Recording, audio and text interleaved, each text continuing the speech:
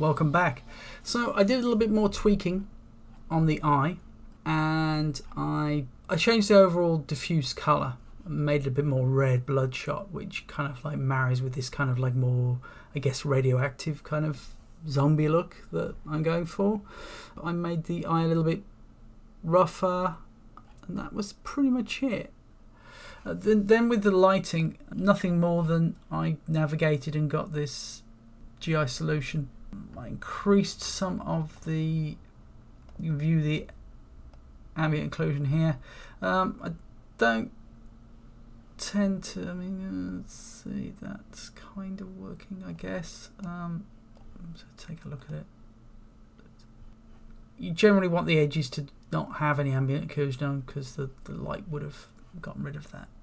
Anyhow, and there he is. And I, I, just posed him. I just went and just posed him a little bit, and um, he's looking a little bit more unfriendly. Uh, th there are other things we could do to him to make him look even more unfriendly. If you got the kits, you could put extra sort of creases onto him, but he's uh, he's looking pretty pretty good now. He's uh, definitely some sort of um, radiation kind of zombie, and we could take this a lot further and do a lot more with this guy that that about wraps it up, and uh, I hope that gives you some ideas.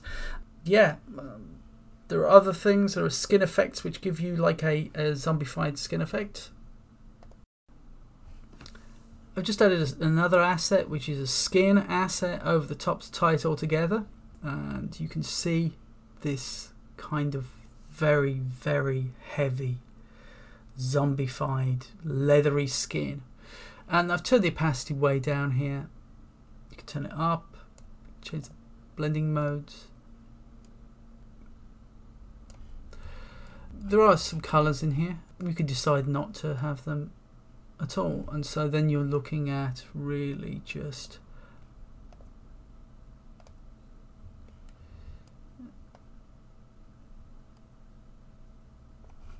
you're just looking at a skin asset just there it really really crank it down.